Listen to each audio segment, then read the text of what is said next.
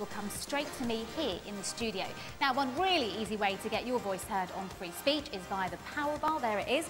It responds in real time to what you think of the panel's points of view and it operates via Twitter. So just use hashtag yes or hashtag no, followed by the name of a panellist each time you agree or disagree with them. And here is our panel, whose first job in just one sentence is to tell us who they are and why they're here. Uh, start with you, please, Damian. I'm Damian Green. I'm the MP for Ashford in Kent. I'm the Minister for Policing and Criminal Justice, uh, and I'm here to support free speech. Mehdi. I'm Mehdi Hasan, I'm the political director of the Huffington Post UK. I'm here because I'm worried we're about to get into another mad war, and I'm here to say why I think it's a bad idea. Shami. I'm Shami Chakrabarti, and I'm the director of Liberty, the National Council for Civil Liberties, this country's domestic human rights campaign. You might say that despite being middle-aged, I'm a professional teenager. Sometimes I say to politicians, that's not fair. Sometimes I say, I hate you. Occasionally, you've ruined my life, but hopefully not too often. Milo. I'm Milo Yiannopoulos, I'm the founder and editor-in-chief of The Kernel, which is an online technology, media and uh, politics publication, and I'm here to support aggressive military intervention into Syria. Seema. I'm Seema Malhotra. I'm the Labour and Cooperative Member of Parliament for Feltham and Heston. I'm here because I think we do not listen to the voices of young people enough in society. Remember, we've got to go live in five seconds.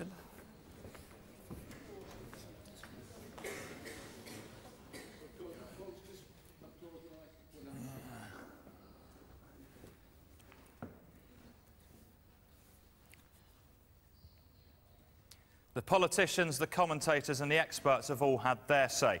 Tonight, for the first time, a television audience has theirs. Welcome to the Syria Crisis, a special edition of Free Speech, live on BBC Three. People are under a lot of pressure in Britain. But there's not enough grassroots work being done. What do we think about that? Should charity not start at home? But it is a big deal to them, and it's very important. Make sure you've got a voice, and we will listen.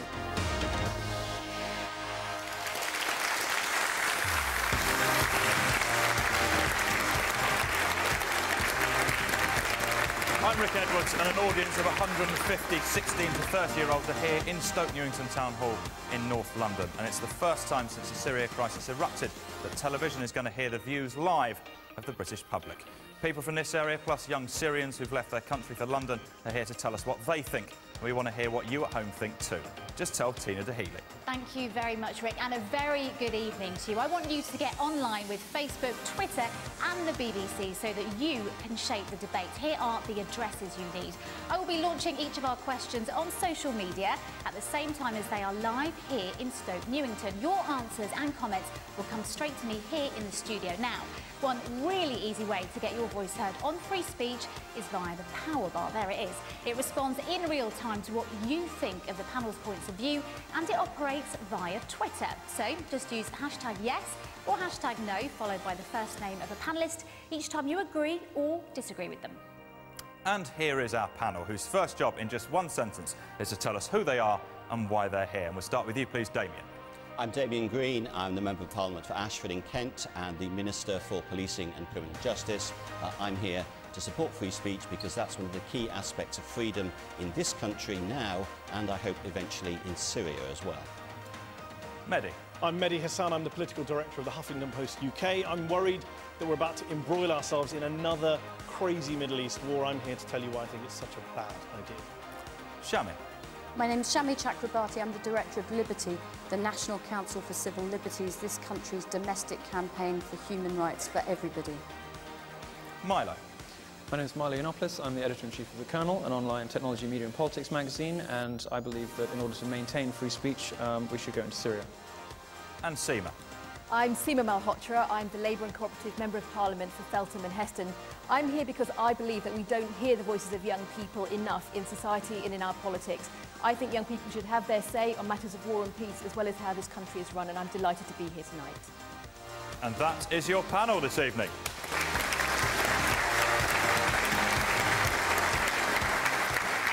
OK, let's get going. At least 100,000 dead, 1,429 killed in a chemical weapons attack, 426 of them children. Two million refugees. A brutal regime is fighting a shadowy alliance of rebels, including elements of al-Qaeda.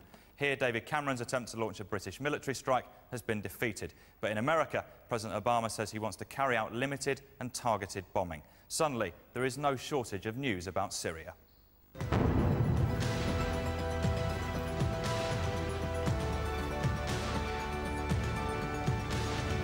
One of the most abhorrent uses of chemical weapons in a century.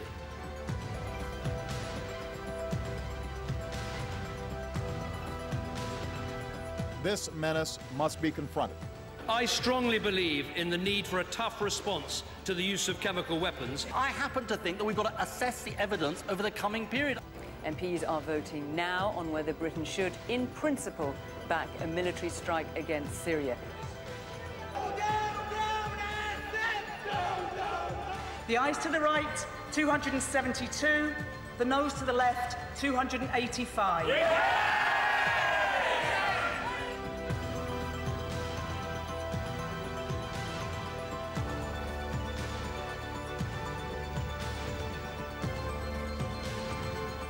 Feel like some sort of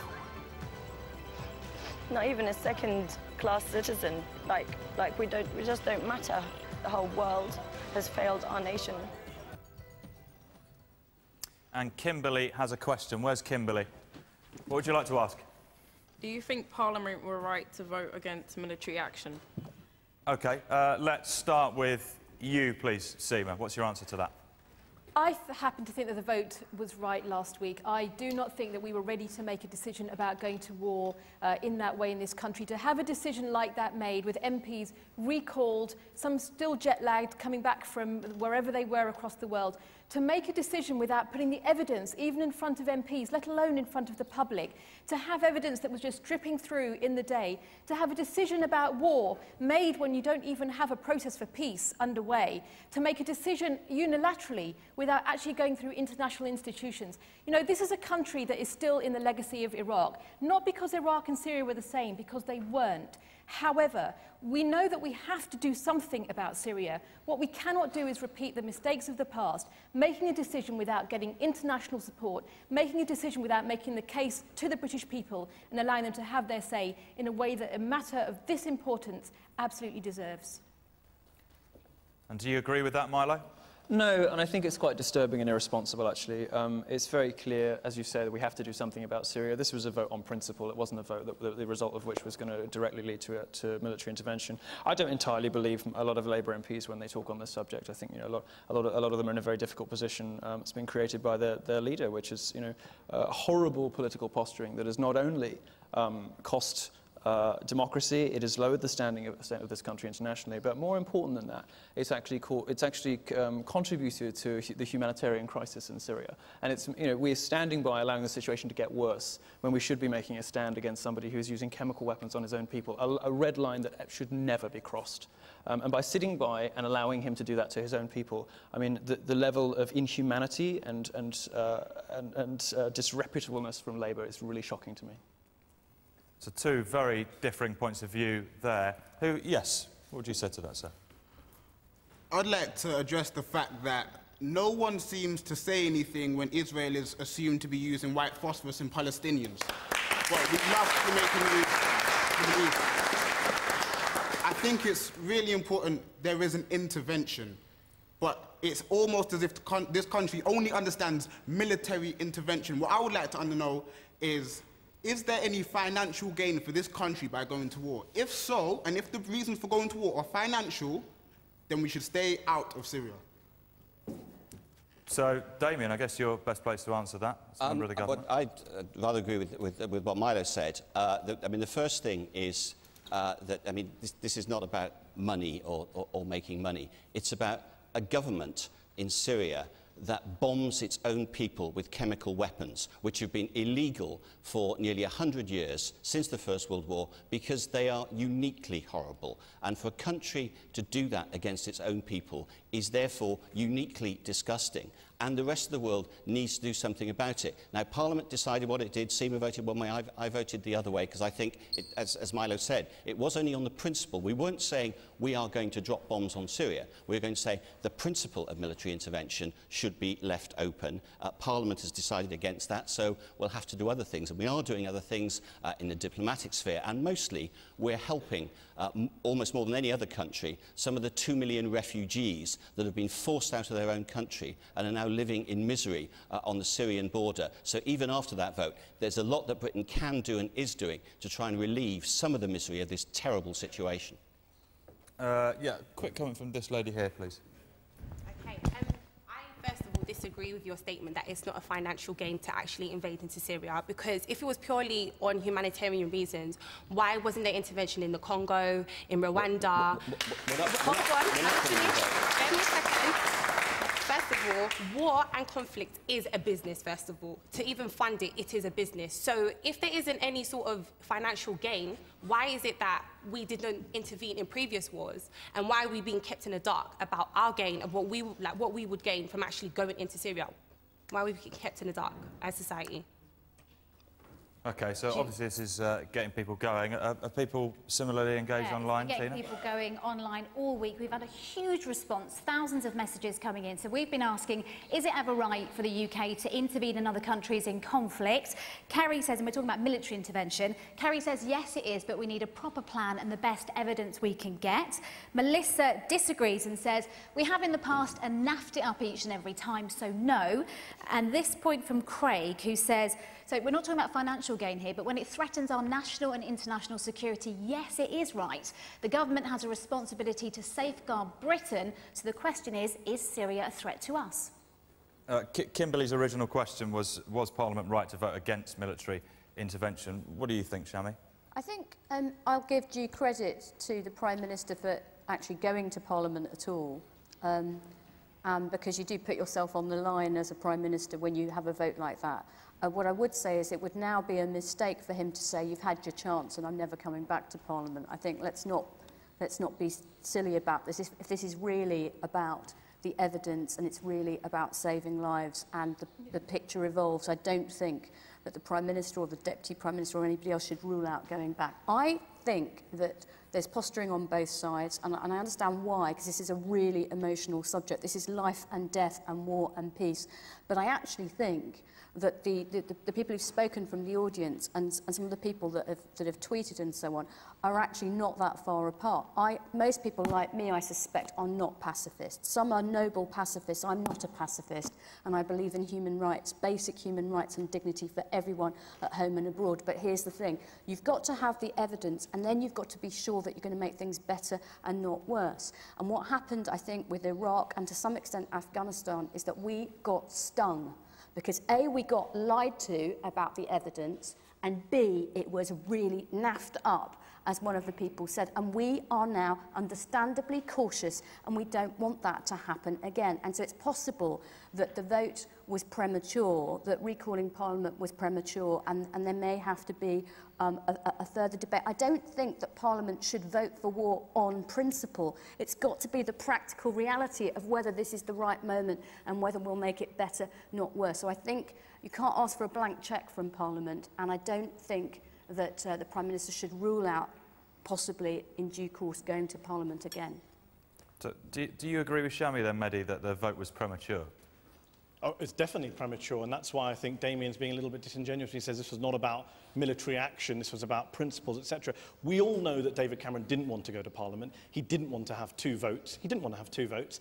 And why do we have an emergency vote in Parliament to begin with when the Americans aren't discussing this till next Monday? The French are debating it today, and yet we called back our MPs four days earlier to have a vote on a weekend of airstrikes. The plan was to have airstrikes last weekend. And I think Parliament should be praised for halting this rush to war. I just wish they'd done it 10 years ago and saved hundreds of thousands of Iraqi lives.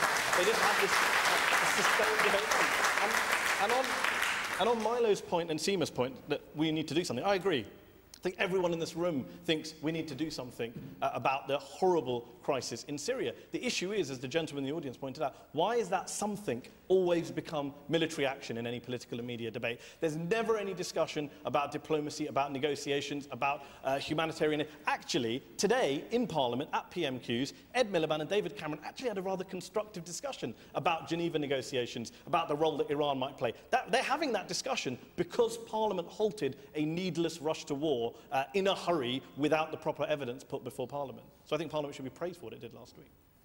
Uh, Damian, did Well, you want to respond to yeah, that? absolutely. I, mean, I glory in the fact, and you know, we all can, that we live in a parliamentary democracy where a government says, should we do this? If Parliament says no, then we don't do it. That's democracy. That's how it's supposed to work. I, th I think it's a bit weird to say, oh, we, we shouldn't have had a parliamentary vote, and then welcome what the parliamentary vote achieved. That's how British democracy is supposed to work. And it did work last week, and, and we will move from there. And the other point... why did we have to have it on Thursday? Absolutely. Why did we have to have it last Thursday, David? Well, because as, if you have a crisis, then Parliament should be debating it. That's where it's supposed But to the happen. The US Congress, You- the country that's going to lead actions, waiting until next Yeah, Monday. and, and So also, why did we have one the, last the, week? the point about evidence is that precisely the evidence was put before Parliament, and Parliament voted the way it did. But, but the one point I do agree with you on uh, is on uh, the need for diplomacy, and that is happening, and that has been happening for some time, and Britain can continue to play uh, a very constructive role on that. But, and also, I, I return to the point, because I think this is the, you know, the central point about this is not about actually what happens to individual politicians or individual political parties in Britain. What matters in this is what happens to the Syrian people, two million of whom are at this moment refugees, and what we do to help them seems to be the central discussion that the whole world needs to be having now. Will we be welcoming these refugees to Britain? Minister, will we be welcoming any of these refugees to Britain, or will we be putting them on the streets and saying Well- they can't use the NHS when they when Well, they find their way were. to Britain? on. Uh, the, the last time this happened, and, and the, the, the line that, oh, this, this is always naffed up, actually Libya two years ago, uh, I would hope everyone in this room uh, welcomes the removal of Gaddafi, and we went in then, no, no, there were some Gaddafi supporters here. Interesting. Um, I, I should I'm sure, read, the, I'm sure, read, the, I'm read sure the some, black African Libyans who were ethnically Re- re- cleansed read- from their villages by read- the read militias that we history. helped take over. Well, well, Gaddafi was sending troops who were going to massacre the entire population of Benghazi. If we hadn't gone in, there would be Agreed, tens of thousands dead that's what- people. that's not what so it became, you, though, is it? you That's have to what take the became, though, responsibility if That's that's, what what you're going to argue. Well, are you I, know, I know journalists don't Well, take am I responsibility responsible for for what happens in foreign countries? And No, are you but- responsible but for what you're- in the you're- Congo? then? you're Are you responsible for every war that you don't be in? You're are you morally responsible? You're arguing. You're arguing. Can I, can I answer? You're Well, arguing. you're accusing that me of we- being responsible You're for deaths. arguing that we Are shouldn't have gone into Libya. And, and Did you, can advocate say, a humanitarian no, intervention when Israel was bombing Gaza? If not, you're responsible for all the Palestinian deaths. On that logic. This, this is an excellent time to go to the power bar for It the really first is. time. Let's take some time out. It's instant judgment time. So let's find out what the online audience at home make of what you've said so far. Let's see if they agree or disagree with you. Let's fire up the power bar for the first time tonight. And Mehdi, you are in the lead so far. Well done. It could all change. Could all change. Uh, where's Lou Jane? Lou Jane, so you're British, but you're of Syrian descent. How are you feeling about this whole I'm not feeling very happy at all, and I don't really feel. I kind of feel ashamed to be British at this moment in time. Um, considering that we know that over 100,000 people have been killed, 2 million people are refugees, and we carry on, we talk about, oh, we are helping, we're helping the refugees. Well, do you know what? The situation's only going to get worse. We've, talk, we've talked about, oh, we want to do something, okay, yeah? The political talk that we've been doing for the past three years has not helped. Has it helped? Has it stopped the killing? No, it hasn't. The situation has only escalated. So, what other option do we have at this point in time than to go down the route of military intervention? Because if you haven't got another option, the political solution is not working. So, what other option have we actually got? Seema. I, I, I totally hear what you're saying, but I can't agree with that right now because I don't think we have put enough effort into the peace process. Now, there needs to be a roadmap to peace as well, and it is true that the, the, the efforts so far have not succeeded. It is also true that the opposition forces have not come to the table, but that does not mean that there isn't an opportunity to look to a diplomatic answer to this. The only way the war is going to end in Syria is with some kind of political solution. You can have a military, military action that makes us feel like we did something, but what are you going to do with that? that if the goals aren't clear? Are you going to really say we're going to wrap the knuckles of a dictator and then just let Syria continue to disintegrate? You have to have something that is bigger than just the military action. Now, what we do know has changed is that undeniable use of chemical weapons. There are still questions to be answered about how and why it happened. And this is going to be a question that the international community has to deal with. But in no way should you read Parliament's vote last week as saying we do not believe that something needs to be done and that we will intervene in whichever way we can. But a military solution was not convincing in terms of the case to say it's going to solve the problem. It could have actually made things so much worse. I'm sorry to, I'm sorry to be rude. Um, I'm, so, I'm sorry to be rude, but you know, the, get a lot of platitudes and then a lot of contradictions from, from my right. Because you know you say well we should, we should have investigated diplomatic solutions and yet you admit that the rebels haven't come to the table. I wonder no, how, no, I disagree how, with you. how do you, you how do you um, a, I mean what process, is your strategy for negotiating look, with a brick wall? because it's to work, quite difficult to negotiate when there's only one party. I, I disagree with you.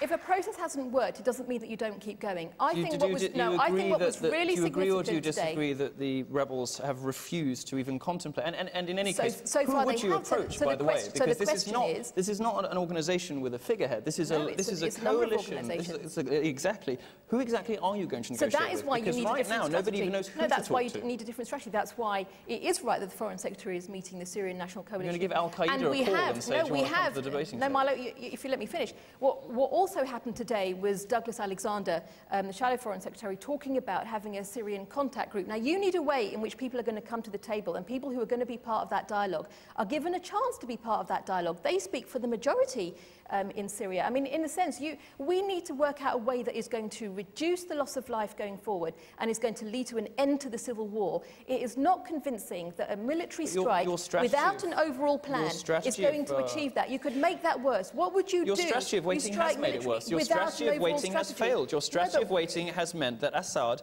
has used chemical weapons against his The- own the people. That's what your strategy of waiting has accomplished. And why did no, and, and why did it happen 14 times before last week? I mean, it should have been on the agenda, I think, much earlier in a way that it, that it, that it is now.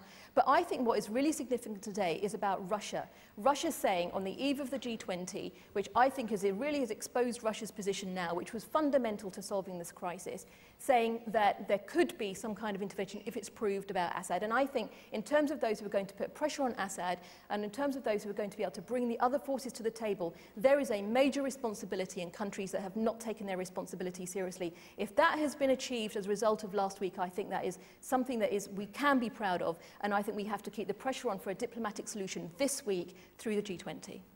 Uh, I'd like to speak to some Syrians about this. Where's Murad? Yes. Uh, what do you make of this? Um, what do you make of what you're hearing? By the time when the last chemical weapons uh, uh, Bashar al-Assad used it in, in Damascus, in the countryside of Damascus, uh, till, till today, it's about more than 2,000 die, and he's, he's till now he didn't stop that, uh, killing people, child, women's, all, all people. And uh, what, can I just ask you, please, when will be stop Bashar al-Assad, stop the people dying in Syria? When gonna be, he's really stopped? When will be, when, uh, if you remember, if from, 19, from 1933 till 1945, and especially from 1941 till 1945, who's about 6 million Jews die in, in Europe. So do we need this time now to waiting for about 6 million Syrian people die now? Do, do we need to, to waiting this 6 million? Damian. Uh, well, I, I mean, that's, that's the central question. What can we do uh, to, to stop it happening?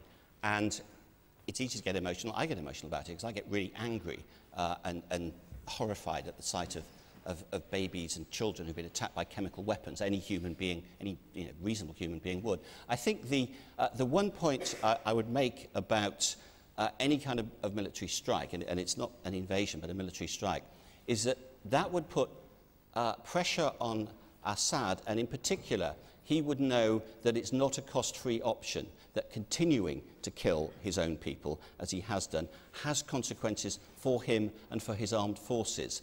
And, and when I, What if th- he- when, what if he when I think, can I finish? One of the, the powerful arguments, I think, uh, that was made in favour uh, of the proposal last week that was defeated was precisely that, that if we don't do this, then it is all words, that there is no pressure on Assad, and all the evidence is he will carry on killing if he thinks he can get away with it.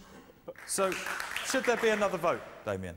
Well, let's, I mean, we've said that there's, there's not point having another vote until the circumstances, unless the circumstances uh, change very radically. And I think, I think that's, uh, that's the sensible way forward. You have a vote in Parliament I've, and you have to respect that. I've never, I've never understood this logic. The Bashar al-Assad uh, is a monster. We all agree on that. He's a dictator. We're comparing him to Adolf Hitler. Uh, he's a very evil man. He uses chemical weapons against his own people. He's this horrible, evil dictator, but if we spend a weekend dropping some bombs on him, he'll immediately start doing what he's told. I just don't buy that logic. The more likely outcome is that he ratchets up his own violence against civilians. And then what do we do? If he fires chemical weapons again, do we bomb him again? Do we turn it into a weekly event since you've ruled out a ground invasion? So what would you do? Well, either you either have the honesty to say we're going to go in, invade, remove him from power, not something I support, but at least it's a consistent position, or you say you take a diplomatic route, you call for a ceasefire as a way to reduce civilian casualties. But this halfway house where you drop some bombs over a weekend and think that that will stop a dictator from using everything, where's the evidence for that? That he will suddenly cower and come running and say, I won't do anything again because you dropped a missile on me on Saturday night. You see, I think this is important. There's nothing that I have heard in this debate so far this evening that makes me think that anybody's speaking in bad faith or that anybody's got dubious motives. This is, this is really hard. And, and, and yes, the evidence is emerging of what atrocities um, you know, have happened. I don't think the evidence base is, is a problem here as perhaps it was with Iraq, but there's also the practicality. And you have to, and, and you have to and get there both atrocities right. only on one Uh, side. And there are atrocities only on one side. And, and, and what Mehdi, I think, is now alluding to is, might we make it worse or might we not make it better? And that's really, pain, that's really painful to admit sometimes when you won't necessarily be able to make things better and you're watching those pictures on the news night after night. But, but nonetheless, I think that if you look at public opinion, if you look at some of the polling, people are worried about being stung again on both fronts. Either that they're being lied to, I think they're not being lied to this time, is my own view for what it's worth, but they also don't want to find themselves embroiled in a foreign war blood and treasure, sending young people like you lot off to war uncertain consequences and maybe we don't make it better. So that's why I think Seema's point about bringing new countries around the table, because part of making it better and not making it worse is about saying it's not just Britain and America this time, that there's going to be genuine multilateralism in the international community. Countries that we don't talk to, like Iran, might have to start facing up to their responsibilities on the world stage. And yes, in the meantime, you're talking and people are dying, and that's so painful. But in the end, I think sometimes there is no choice. Uh, yes, this gentleman here. As an Afghan, I can see the, the, comp uh, the compromise, the similarities between Syria and Afghanistan because Russia was supporting Afghanistan in the 1980s and then the similar thing was happening. The Mujahideen was supported by the Americans and there was a civil war afterwards. I, I do not support any military intervention, but on the other hand, we cannot allow Assad killing his own people for years and years, and it's more than enough that he killed over 100,000 people. Whether he killed it by chemical weapon or whether he just killed it, it's a murder. He's killing his people. But we should not forget who gave those chemical weapons to Syria. There's a reports and evidence that the UK actually allowed this chemical weapon to go to Syria. The Department for Business and Innovation and also, we are forgetting talk about um, uh, Egypt because Americans are giving money to the Egyptian military to kill its own people, and we say nothing. Yeah. How about what have we done from Iraq and Afghanistan? Uh, gentleman next to you in the yellow t-shirt, yeah. Yeah, I mean, there's been countless polls um, in the media uh, about whether the UK government should take military action against Syria, and the overwhelming majority of public opinion is that no, um, we shouldn't uh, go there and take military action. Considering David Cameron likes to brand the Syrian government as a regime that goes against the will of its own people, if the UK government does take action against Syria and does invade, can we brand the UK government as a regime that goes against the will of the British people? Could we, Damian? Well, that's why we have a parliament in this country. We had a parliamentary vote. Parliament said no, so we're not taking military action. That, that's how democracy works. That's how it should work. But I'm not convinced that the... That, that, I, I agree with you about the polling, and I, and I think we can tell from even people in this room that people are very, very concerned about military action, very cautious, and I share that caution. But I don't think that people are pacifists on principle. I don't think that public opinion is such as to suggest that, that people would never go to war in Syria or they would never uh, you, you go for humanitarian You're intervention absolutely again. right that the well has been poisoned, right? There's, Yeah. It's almost like the government's cried wolf too many times, and now when there really is a clear case, the public aren't But behind that it. Doesn't that right. doesn't mean Well, I that think the as the public picture accepts it's not a clear case. Yeah. I think the public are ahead of some of the politicians here and are asking questions that politicians aren't asking. So what do we do the day after we drop a bomb? Exactly, What do we do the day after Al-Qaeda takes over some town without help? What are all these And that's questions all common that, sense, that were not know. asked in the Commons, that were not put, sorry, were not answered by the government in the Commons? And Well, I think that's what contributed to the defeat. I think that's slightly unfair because uh, what everyone in, in the Commons was given, and I'm, I'm quite surprised that there's, there hasn't been more uh, media coverage of it, was uh, the intelligence reports because uh, that's, that's our best intelligence. No, no, and David, David, that's about- that's about the chemicals. I'm talking about the plan. No, no, Plan. There was no no, discussion of a plan. D- D- D- I mean, David Cameron made the point, um, as a stark contrast to Tony Blair of Iraq, he said,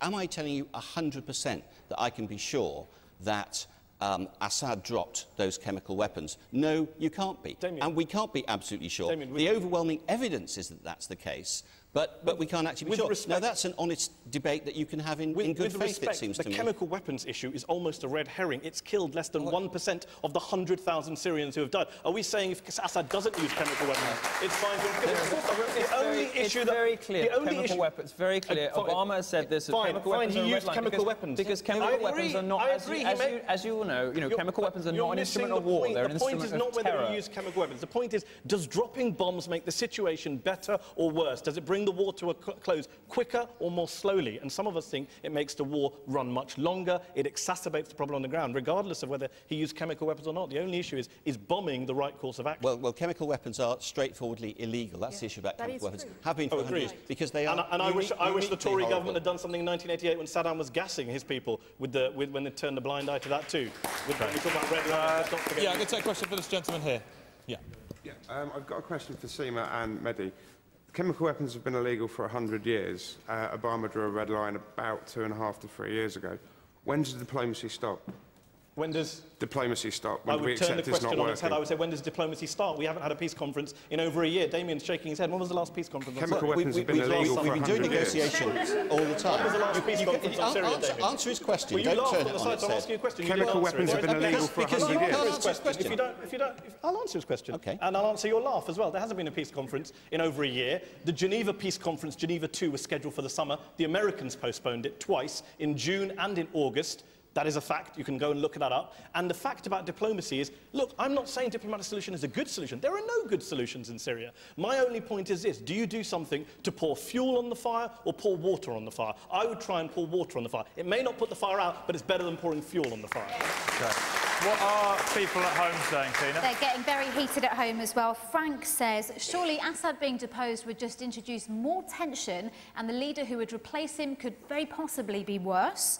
Um, Shanice says, it's inhumane for us to sit and watch this happen. Why did we go to Iraq? Oil, money, we need to get our priorities right. And this one from Jack, who says, surely as a global power, it's our responsibility to help the people of Syria, even without the use of chemical weapons. Probably a good time to see what's happening with the power bar at the moment to see if anything's changed. Mehdi still in the lead. Shami, you are catching up, and Milo and Damian struggling for popularity, I'm afraid. Okay. Uh, Ore, where's Ore? I don't think that's changed. Ah, you've got a question.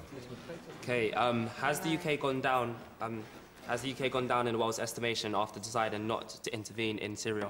I hate that question. Um, um, Forgive me, I don't hate you, but I really hate that question because I don't give a monkeys about all this nonsense about how you look on the world stage. If this is, right, I don't give a no. I really don't. I really don't. I really, no, I really don't. You know that, you know that our international Oh, reputation no. affects our ability to negotiate for peace. It affects all sorts of things. Our standing in the world isn't just a question of who we can get to go, uh, you know, to, to Well- launch planes with us, but you know perfectly well, Well, I'm not- that our standing in the world affects our ability to peacefully Well, then I agree with the minister. Well, in that case, I will. If, if that's the case, I will agree with the minister that our standing as the oldest unbroken democracy on earth is not undermined by having a parliamentary debate and having a vote and respecting it. So there may be another vote in the future. The picture may change, but I am never going to say that our standing as a great democracy is affected by having democracy and respecting it. Also, if, if, if, if winning a global league table on popularity requires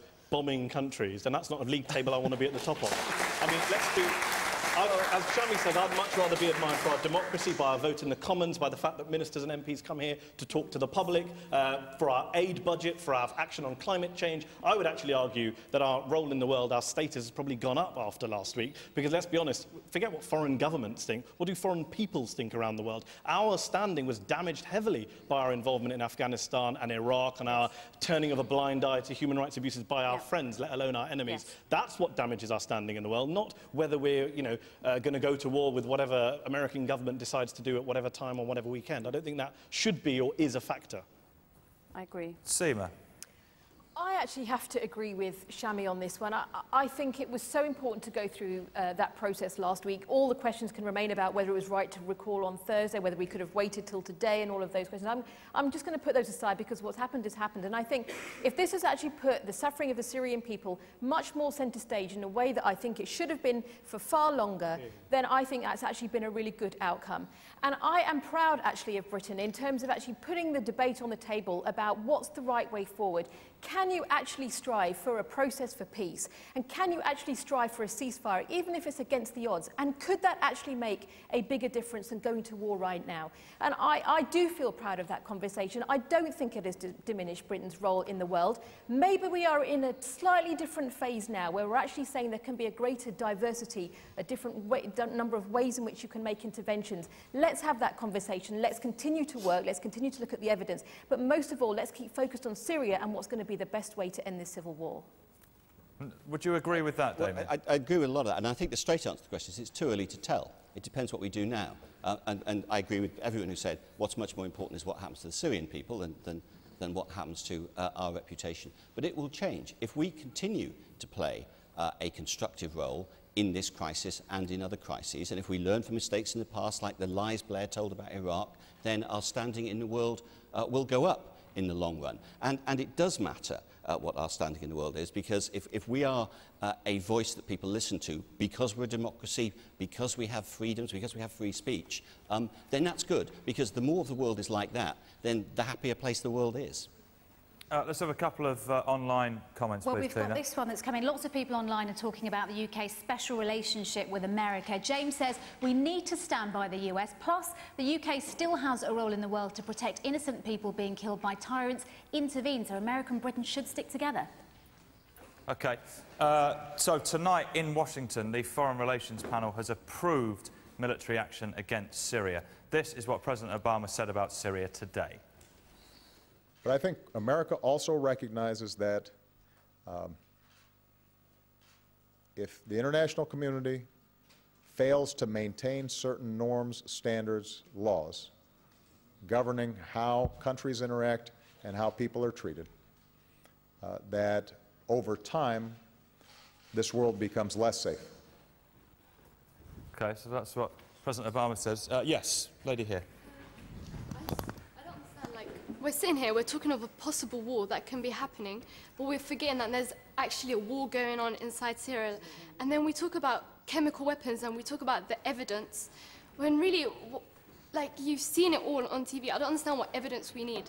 And then you've got people dying in like the most brutal ways, and we can talk about is chemical weapons. I don't understand why it's taken us two years and a half to realize that, you know, maybe the red line should be drawn for chemical weapons, when really this is the 14th time that chemical weapons have been used.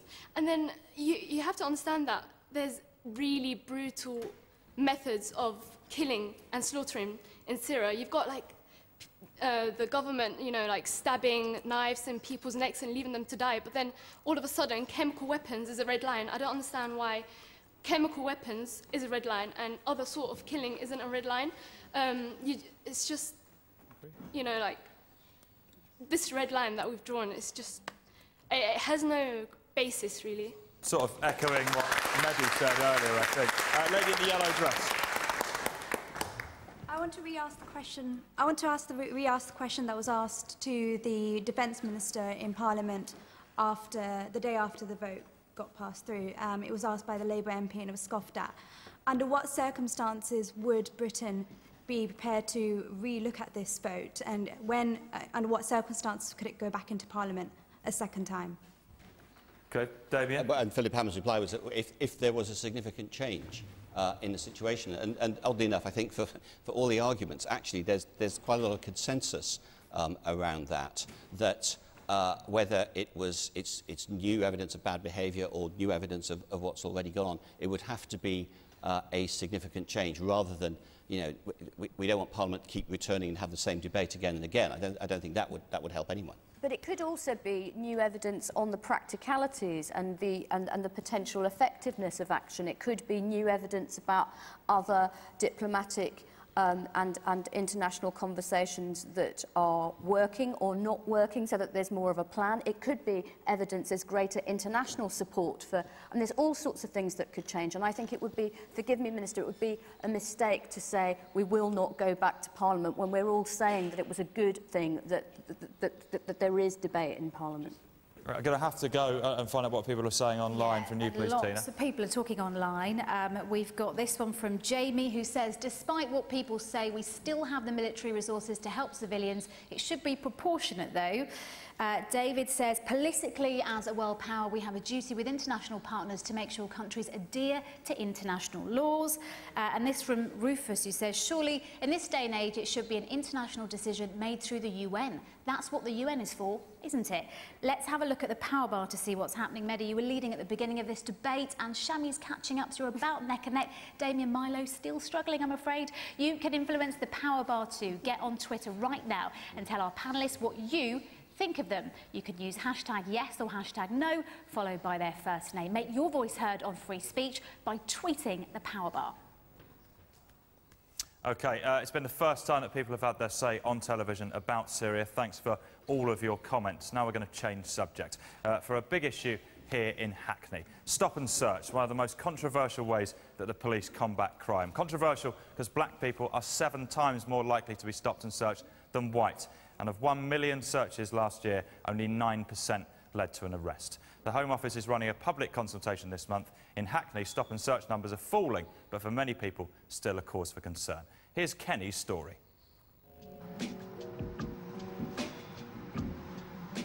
My name is Kenny, and I'm 19 years old. I was born and raised in Hackney. I'm a civil servant working in financial services. Oh, Hackney is a nice place. You know, it's better. It's very vibrant it obviously still has its ups and downs. The relationship between police and youth is not at its best. I couldn't even tell you the amount of times I used to get stopped and searched. It brought me to distress. I don't agree to being stopped and searched numerous amount of times just because of the clothes you're wearing or I'm in a certain area or maybe even the colour of my skin. It wasn't fair and I didn't want other people to feel the pain I felt. So I thought it was time for a voice to be heard. At Hackney Community Volunteering Service, we have a monitoring group, Stop and Search monitoring group. Yeah, I'm doing good now. How are you? We talk about how Stop and Search affects the community. What will give you greater confidence in police use of Stop and Search? When I'm being stopped in public, I was annoyed because people are looking at me and they've got their mindset that you're a criminal just because the police are stopping you. Okay, so tell me about it. What happened? Well, basically, police car pulled up outside the front of my house and he was like, are you lost, mate? And I was like, whoa, are you lost? And then he was like, oh, you know, we look suspicious around this area at this time. I mean, I live in a predominantly white area, so I'm just thinking, I can see where this is going, man. Yeah. Stop and search should be more intelligence-led to get guns and knives off the street rather than just stopping a lot of people and just kind of aggravating them. A lot more needs to be done. And just before we take a question, I'd like to bring in Matthew Horne, uh, who is the Borough Commander for Hackney. What would you say to Kenny, Matthew? I'd say to Kenny that the great work that's been done by the monitoring group has helped us bring stop and search and the amount of times we use it down. We've halved the use of stop and search here. You saw the national figures there, but in Hackney it's a very different picture as it is across London. We've halved the use of stop and search. We've doubled nearly the amount of times what we would say is a positive outcome. So somebody's arrested. I think we're listening. We are on a bit of a journey. We're not always going to get it right, but we get it right more times than we don't. So last year we arrested 5,000 more people than the year before as a result of stop and search.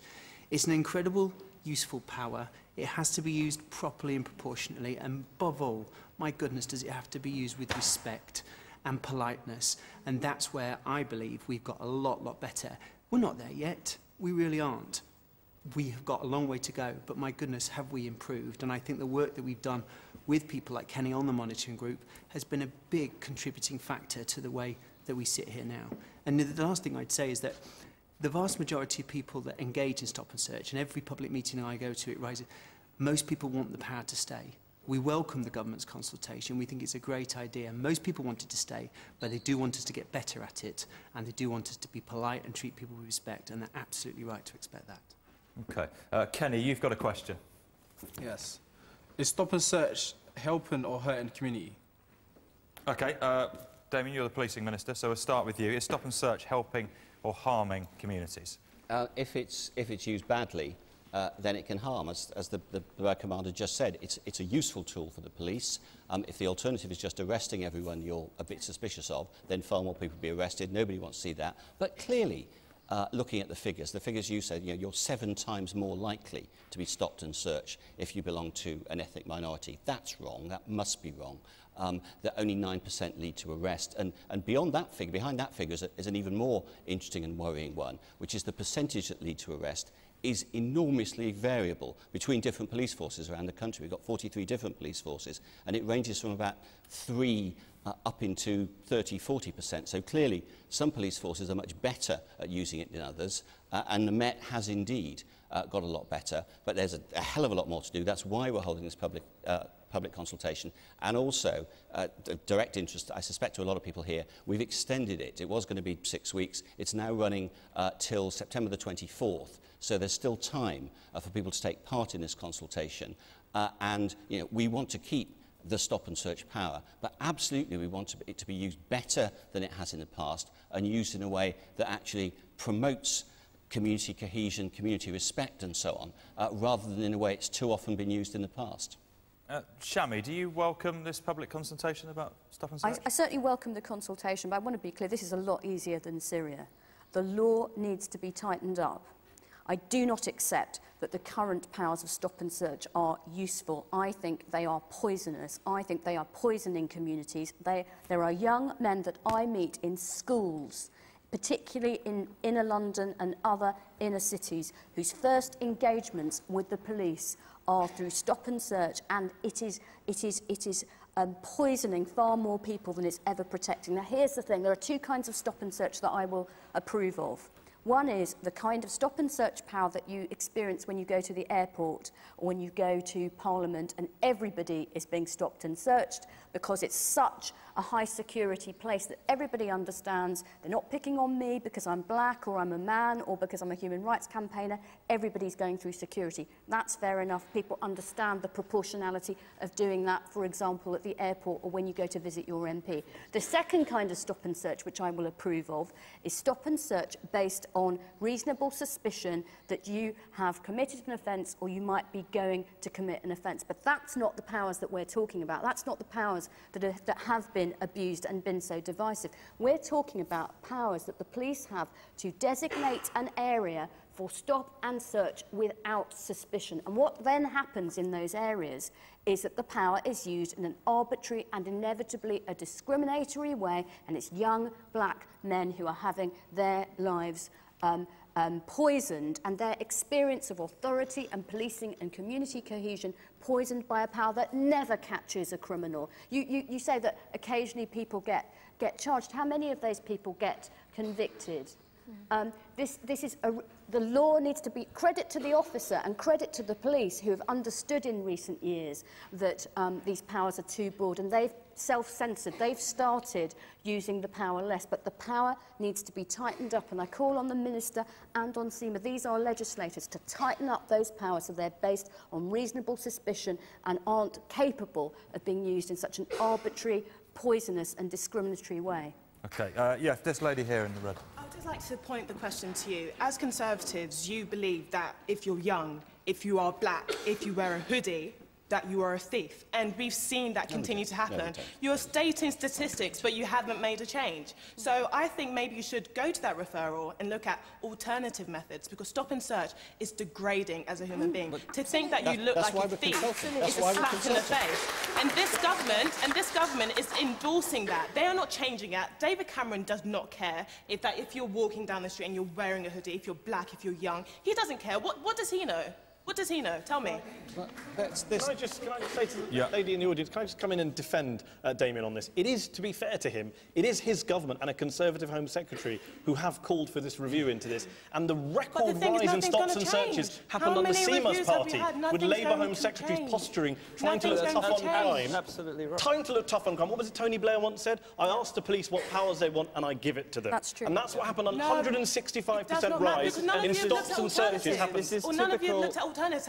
Which government has looked at alternatives rather than stopping and searching? This one. And That's what we're doing now. No, but If you're it's, not you doing know, anything. That's fine. Even agree. after this, you're not going to stop We're in the someone. middle of a consultation doesn't that we started in July. It's going to end Black in three people weeks' don't feel time. safe in your Contribute to the government. consultation, Young people don't feel safe in your government. People who wear hoodies don't feel safe in your government, and that should not be. We are voting you in, and you don't listen.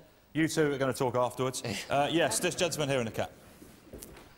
Yeah, I was just going to say that I think that we're, we're kind of all getting the whole thing totally misunderstood. Because at the end of the day, the police are operating on stereotypes. And stereotypes are set by the media um, as what we call a moral panic. Now, part of me doesn't necessarily blame police, but the simple fact that they're going off of maybe their own um, stereotypical views that they've grown up with, and then the stereotypical views that are portrayed in the media. So I think what we need to do to improve stop and search is first, initially, challenge the perception of young black men, especially because if you go to Google right now and write in police stop and search, the first five pages are all black men get stopped and search. I've done it today before I came in, just to see. The first five pages on Google images, do it, and then you get a chance, do it. Young black men getting stopped to search. So that in itself is a problem. That already means that the internet, even the internet believes that, look, this stop and search is them, it's them. So until we can challenge the negative stereotypes that are supported by the media, supported by where people come from, we're going to continue to be in this negative cycle Can where, at the end of the day, the police are just a representation of the society. And if the society as a whole believes that young black men um, in particular are the ones that are causing problems and et cetera, I think, I think we're all going to want to be- respond. I think It's we're an going to issue. respond. It's an issue this. of um, perception. I mean, let's let's start with an unpopular point. What some people call stereotypes, other people might call statistical fact. I mean, it is simply true that Oh, cer- please, that hello, cer- where, where? It's, it's simply true that certain crimes are overwhelmingly committed by certain profiles of, of people. What we need to fix, what we need, what we need to fix is, is, is education. And there, we need to do some really serious systemic work to support communities in underprivileged areas in the country. But let's not forget that, that you know, we do need at the same time to find a balance to, to protect the victims of crime as well. I'm not supporting these indiscriminate stop and search things.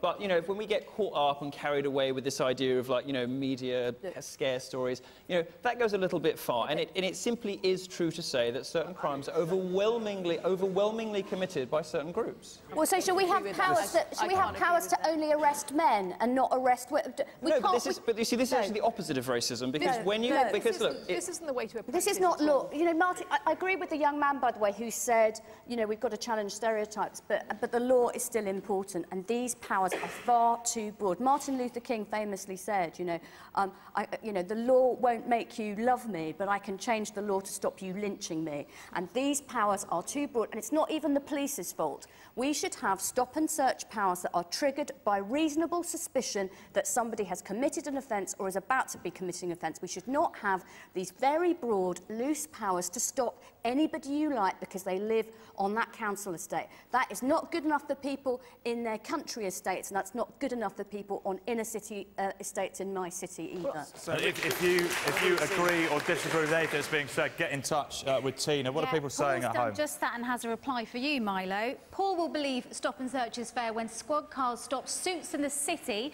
and search laptops for tax evasion.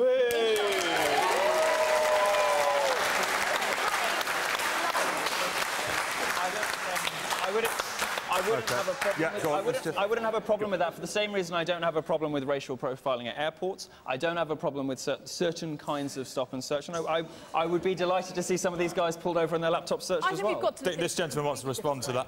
Yeah, the reason I wanted to respond to him and, and why I'm saying it's a moral panic is simple. Young people are responsible for less than 12% of all violent crime in the last in last year's um, police statistics.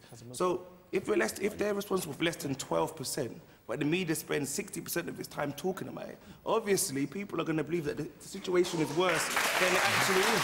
Yeah. Fair point. So what is it talking Uh. Yes, gentleman over here in the blue shirt. I'm really looking forward to seeing Milo's popularity bar after that.